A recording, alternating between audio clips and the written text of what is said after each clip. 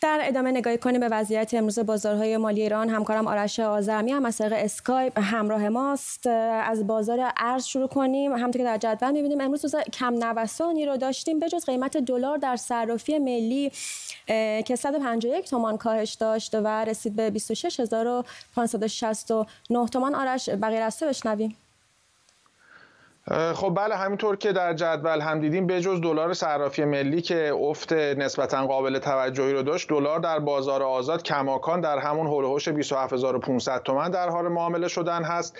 بقیه شاخص ها هم می‌بینیم در حدود دو دهم درصد منفی تا یک دهم درصد مثبت نوسان داشتن. در مجموع بازار منتظر خبر مهم و تاثیرگذار سیاسی است در حوزه سیاست خارجی و برجام با توجه به اتفاقاتی که در چند روز آتی در حوزه در واقع در جریان هست و همینطور خبرهایی در مورد ریاست بانک مرکزی تعیین رئیس بانک مرکزی و وضعیت بودجه امسال و بودجه سال آینده بحثهایی که از تکنرخی کردن ارز دوباره داره مطرح میشه و حذف یارانه ها در بودجه سال آینده اینها به نظر موضوعاتی است که تغییر قطعی در اونها رو بازار منتظر هست که تصمیم قطعی رو بشنوه و تصمیم گیری راجع به نرخ بکنه. اما رمز ارزها روند نزولی رو داشتن در 24 ساعت گذشته. بیت کوین می‌بینیم تا زیر 44 هزار دلار افت کرد بعد از اینکه به مرز 48 هزار دلار رسیده بود. اتریوم هم روندش تقریبا مشابه بود تا 3 هزار دلار کاهش قیمت داشت. حدود بیش از 10 درصد کاهش قیمت در 24 ساعت گذشته دید و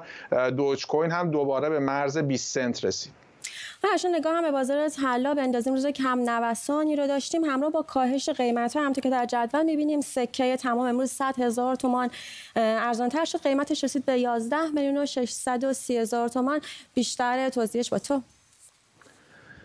خب در بازار طلا هم با توجه به اینکه روند اصلی بازار مربوط به نرخ دلار هست و تغییر نرخ دلار ناچیز بود اونس جهانی رشد داشت در 24 ساعت گذشته رفت تا مرز 1760 دلار اما در مجموع به نظر میاد سکه و نیم سکه با توجه به اینکه معمولا رشدهای حبابی دارند کاهش قیمت رو بیشتر تجربه کردن اما در قیمت طلای جهانی با توجه به رشدی که دیدیم طلای گرمی با کاهش قیمت بیشتری مواجه بود. در مجموع بازار ارز و طلا به نظر میاد در یک ماه اخیر در وضعیت تقریبا نوسان کم و ثبات قرار گرفته و منتظر هست که با توجه به تصمیماتی که بنیادی از نظر اقتصادی مثل بودجه روی اون تاثیر می‌ذاره و همچنین سیاست خارجی روند بعدیش رو تعیین بکنه ممنون آرش با بودی همکارم آرش آزمی